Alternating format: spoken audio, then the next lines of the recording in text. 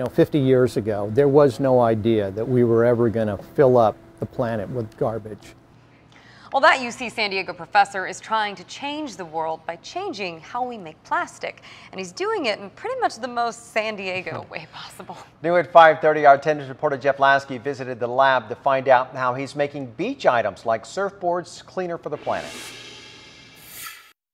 UC San Diego professor Stephen Mayfield is troubled by what we've done to our oceans. We have floating enormous islands of plastic garbage. It's because we make plastics from petroleum extracted from the ground. Petroleum isn't biodegradable. It's not like evil people design those things. It's not like chemists said, how am I going to destroy the planet, right? It was like, hey, I want to make things that make people's lives more convenient. Mayfield wanted to find a way to make those products out of a better material, oil from algae. It's easily grown and much more sustainable. So we looked around and said, what's the most important thing that we could possibly make? As a true San Diegan, he figured why not start with surfboards. Mayfield took me to a UCSD lab where his students were mixing up foams from algae. It's a pretty quick process. The foam began rising in seconds. Now, now it's going. By changing the chemistry a little, they can make different kinds of material. So this is a hard foam, right? These things were actually pretty brittle, right? But it's not just surfboards they're making out of algae.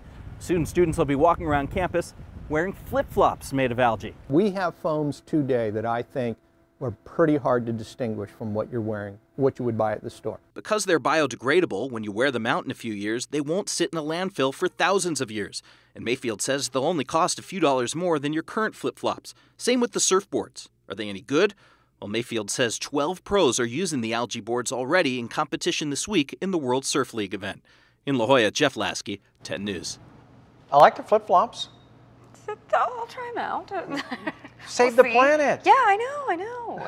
We'll, we'll work on more color combinations. maybe. Okay, different colors. You're actually working with a local surfboard manufacturer as well, and you're going to be able to buy the algae-based boards in local stores by the end of May. No, that's really soon. And students will be testing out the flip-flop prototypes on campus this summer. They could go on sale in stores by next year. With new colors, we hope.